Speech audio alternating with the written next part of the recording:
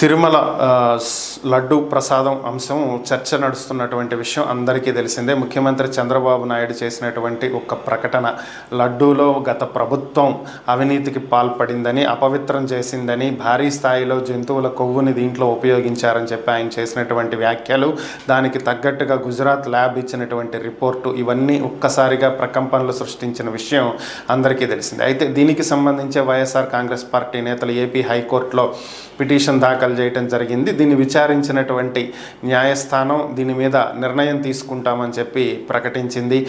అయితే దీనికి సంబంధించి నిజాలు నిగ్గు తేల్చడానికి హైకోర్టు ఆధ్వర్యంలో దీన్ని సుమోటోగా తీసుకుని దీని మీద జ- ఒక సిట్టింగ్ జడ్జి తోటి ఒక కమిటీ వేసి విచారణ జరపాల్సిందిగా వైఎస్ఆర్ కాంగ్రెస్ పార్టీ కోరటం జరిగింది. సో దీని మీద విచారణ జరుపుతామని కాకపోతే ఒక పిల్ దాఖలు చేయండి అని చెప్పి హైకోర్టు ఆదేశించినట్లుగా సమాచారం.